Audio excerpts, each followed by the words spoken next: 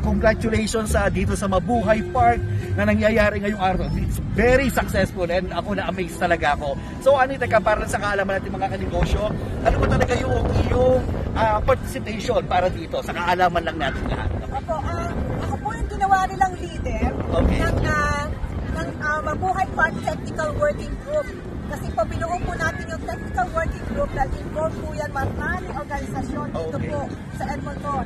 Ah, sila po ay nag-support at ah, tumulong para po mas malam, makuha natin lahat ng signature na magsusupport dito.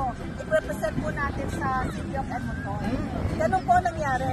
Sa dami po na organisasyon natin dito sa Edmonton outside Edmonton, Oh yes. nagsuporta po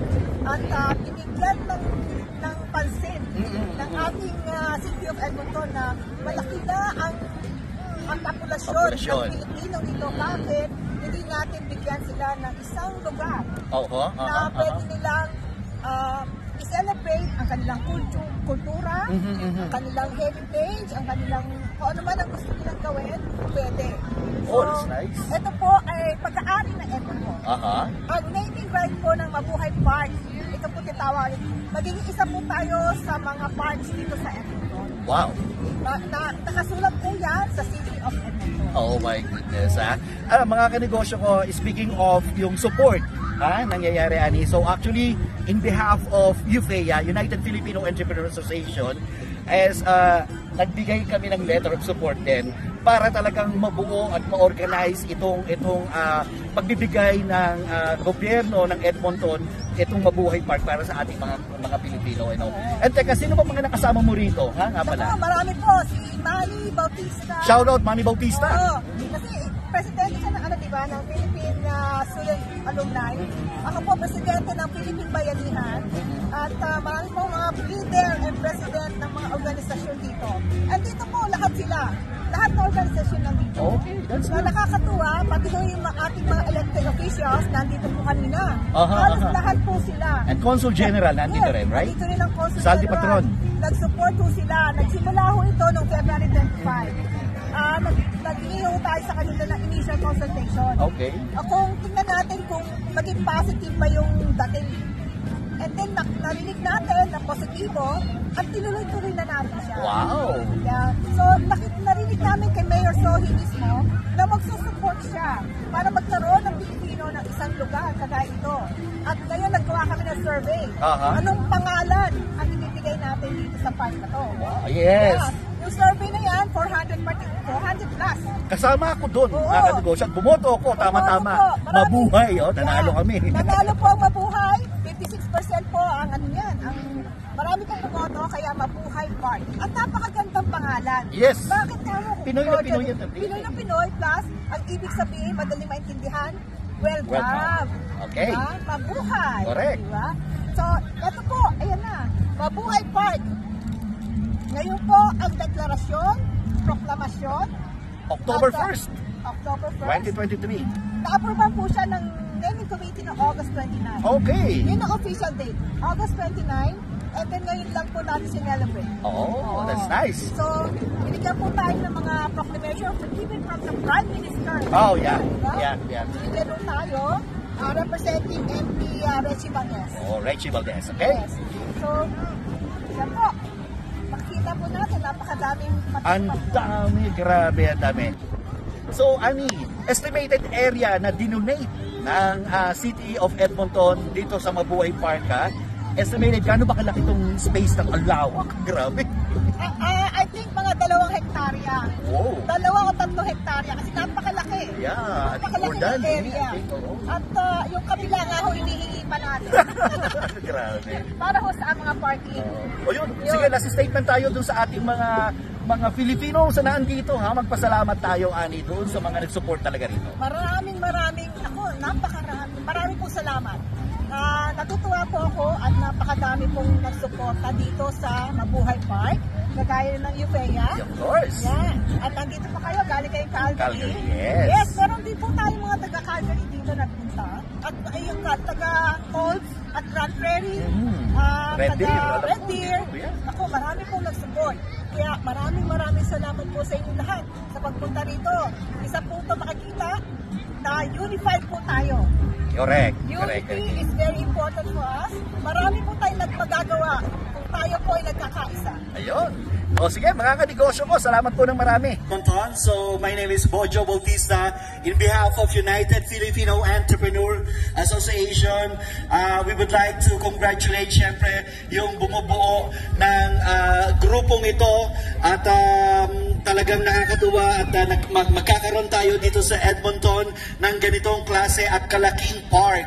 So, uh, Mr. Manny Bautista, congratulations and Annie and uh, yeah, so uh, salamat po ng marami. Ito'y uh, maiksing pagbati lamang po in behalf of UFEA, United Filipino Entrepreneur Association, ang isa po, ang isa po sa sumuporta para matupad uh, itong klaseng gantong uh, okasyon. So once again, congratulations po. Maraming maraming salamat po. Mabuhay Edmonton! Ay, nako mga kanegosyo, here with me, syempre, ang kilala at sikat sa Edmonton, Alberta. Ayan, Mr. Benji Lindo.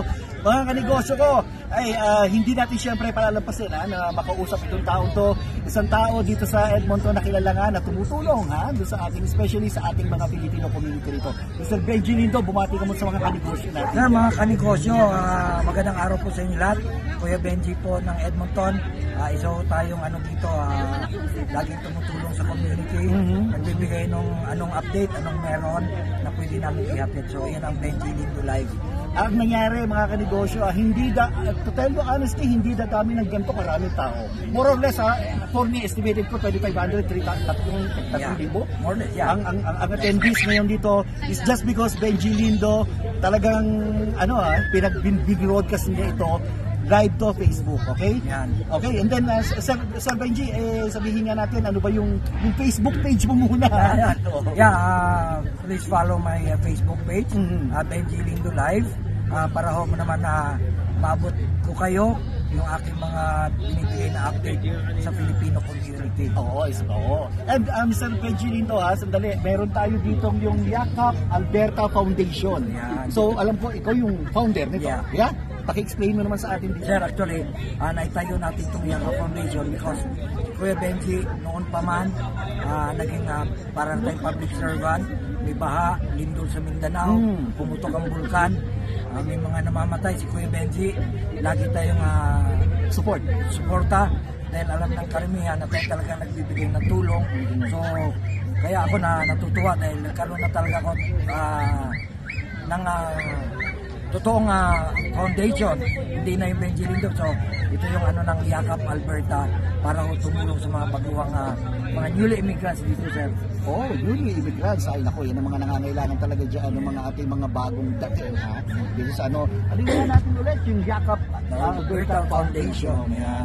So, ito located lang dito pa so, Yeah, sa, sa Edmonton. Base mo na kami Edmonton. Oo, oo. Ay nako, and uh, ilang estimated ba ilang vendor natin mga Ah, small parang- business yung naandyan? Dami. Parang ah, 71. 71?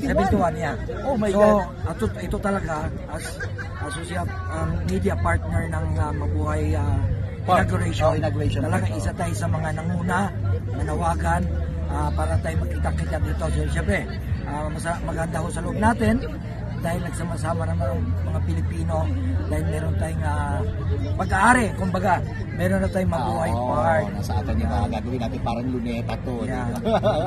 Yun, so pwedeng mag-standby dito yung mga Yan. Pilipino, di ba? Yeah, pwede natin dito mag, mag-picnic, siyempre.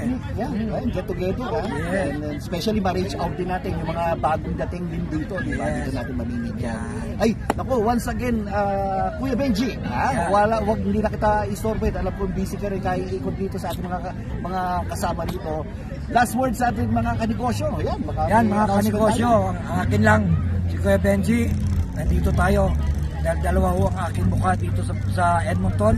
Isa ho tayong ah, nag, um, isang marketer, saka ho yung nag, nagano tayo ng mga public service sa mga Filipino. Yan, mga kanegosyo, mabuhay kayo. Sana mas ah, marami tayong maabot.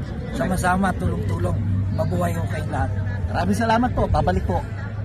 Ako, eto na mga kanegosyo ko, ang special sa sa, sa, sa, sa lugar na to ngayong araw na to ha.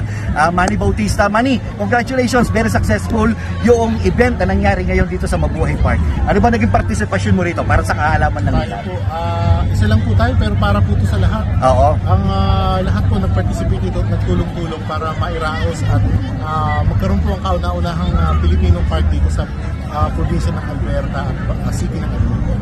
Nako, eh, ah, sino ba yung ating mga naging guest dito kanina? Ang dami. Opo. So ang mga guests ko kanina, yung mayor, pinuklama ito, tapos apat na MP, tapos sa pitong MLA, at ah, apat na uh, city councilor sa nagpuntahan dito.